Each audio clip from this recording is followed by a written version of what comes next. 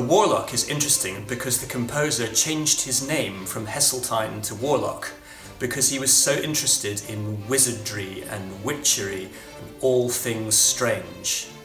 So, while the Basset Dance is a, a beautiful, medieval, and elegant dance, Warlock has added crazy accents, which I'd love you all to think about how you would play on your violins, violas, cellos, and basses.